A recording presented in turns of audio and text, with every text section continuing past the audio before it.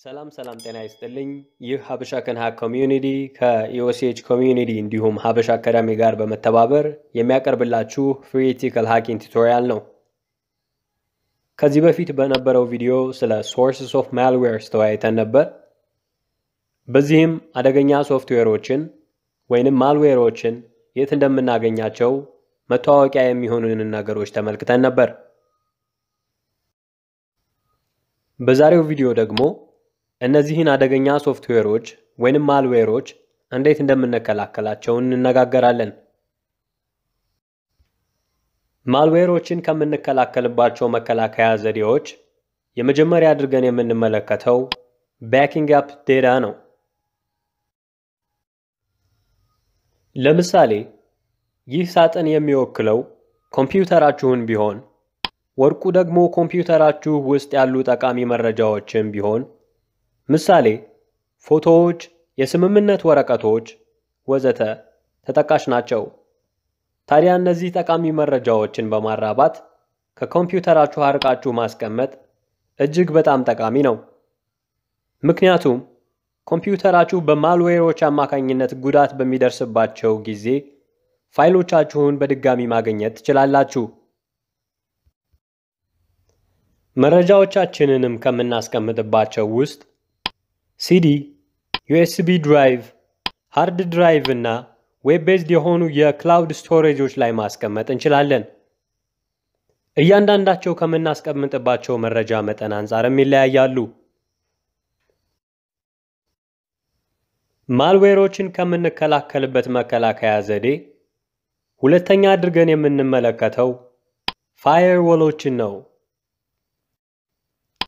ለምሳሌ ይህ የእናንተ ኮምፒውተር ቢሆን ይህ cloud ደግሞ ኢንተርኔትን ከወከለ እንዲሁም ይህ አኒሚ ደግሞ ኢንተርኔት ላይ ያሉ ደግ ሰዎችን ቢወክሉ እናንተ ኢንፎርሜሽናችሁን ወደ ደግ ሰዎች ወይንም ድርጅቶች ስትልኩ እነሱ ምላሹን ይልካሉ። ቢሆንም ግን ይህ ሁልጊዜ አይሆንም። ምክንያቱም አንዳንድ ወንጀለኞች ሊያጋጥሙ ይችላሉ። በቀጥታ ማልዌሮችን ወደ እናንተ በመላክም ይሁን በተዘዋዋሪ እናንተ የምትላላኳቸውን ደግ ሰዎች እንዲሁም ድርጅቶች በማጥቃት ወደ እናንተ ይመጣሉ። ታዲያ ይህንን ለመከላከል በኮምፒውተራችሁና በኢንተርኔት መካከል ፋየርዎልን ማስቀመጥ መቻል አለባችሁ። ፋየርዎሎች ሃርድዌሮች ሊሆኑ ይችላሉ፣ ሶፍትዌሮችም ሊሆኑ ይችላሉ፣ ወይንም ሁለቱንም የያዙ ሊሆኑ ይችላሉ። ዋና ጠቀሜታቸውም ከዚህ በፊት በነበረው ቪዲዮ ላይ መመልከት ይችላሉ። ሊንኩን description box ላይ ያገኙታል። በመጨረሻም ልናሳስባችሁ የምንፈልገው ኮምፒውተራችሁ ኢንተርኔት ጋር ሲገናኝ ፋየርዎላችሁም on መሆኑን አረጋግጡ። ማልዌሮችን ከምንከላከልበት መከላከያ ዘዴ ሶስተኛ አድርገን የምንመለከተው installing software patches ነው። ማልዌሮችን የሚፈጥሯቸው ሃከሮች እንዲሁም ፕሮግራመሮች ማልዌሮቹ ኮምፒውተራችሁ ላይ run የሚሆኑ ሶፍትዌሮችን በመጉዳት የተነጣጠሩ ያደርጋቸዋል። ምንም እንኳን ምን እንደሆኑ ባናውቅም ዓለማችን ላይ ያሉ ብዙ ሶፍትዌሮች የ security ችግር አለባቸው። በጣም ብዙ የሆኑ የ malware አታኮች ውጤታማ አይሆኑም። ምክንያቱም አነጣጥረው የተሰሩበት የሶፍትዌር ክፍተቶች ተደፍነው በሚሆንበት ጊዜ። ይህም ብቻ ሳይሆን በአጋጣሚ ማክ ኮምፒውተር ኖሮን ለ PC የተሰሩ ማልዌሮች ቢያጋጥሙን 99.9% ጥቃት አያስከትሉብንም። ምክንያቱም ማክ ኮምፒውተሮችና PC የተለያየ ድክመቶች ስላሏቸው።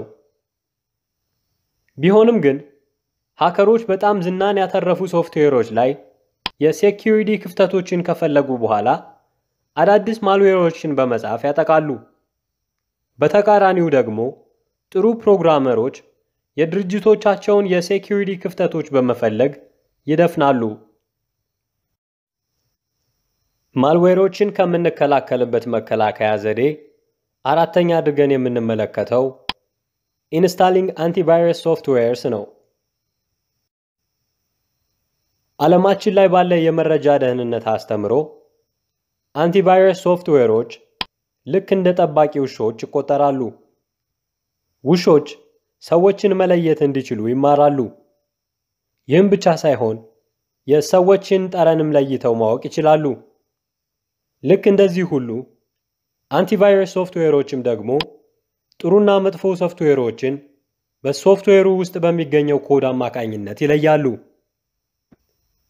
አንቲቫይረሶች ከሶፍትዌሮች ላይ የሚታወቅ የ malware ኮዶችን ሲያገኙ እርምጃን ይወስዳሉ። ይህም ማለት ለኮምፒውተሩ ባለቤቶች ይህ ሶፍትዌር ቫይረስ አለው ይላሉ። ይህን ሁሉ ብንልም ግን antivirus ሶፍትዌሮች ከምንም ይሻላሉ ለማለት እንጂ ዓለማችን ላይ የመጠቁ ሃከሮች እንዲሁም የ malware ዴቨሎፐሮች በአንቲቫይረሶች detect የማይደረጉ ማልዌሮችን ይፈጥራሉ። ማልዌሮችን ከምንከላከልበት መከላከያ ዘዴ አምስተኛ እና ለዚህ ቪዲዮ የመጨረሻ አድርገን የምንመለከተው user education ነው። ምንም እንኳን እስካሁን ስንማማር ትኩረታችንን ኮምፒውተሮች ላይ ቢሆንም ማልዌሮችን ለመከላከል ተጠቃሚዎቹን ማስተማር ተገቢ ነው። ምናልባትም ይህ ነገር ኢትዮጵያ ውስጥ 0% ቢሆንም ኢትዮጵያ ውስጥ ከመንግስት ድርጅት ሰራተኞች እስከ ትልልቅ የግል ኩባንያዎች የሳይበር ሴኪሪቲ ወይንም የመረጃ ጥበቃ እውቀት የላቸውም።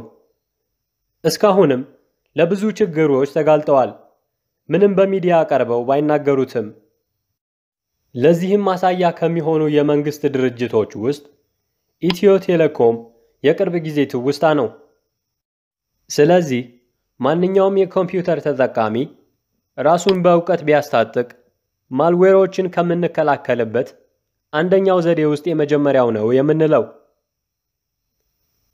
የዛሬው ቪዲዮ ይህን ይመስል ነበር። በቀጣይ ቪዲዮ ደግሞ ስለ introduction to network እንነጋገራለን።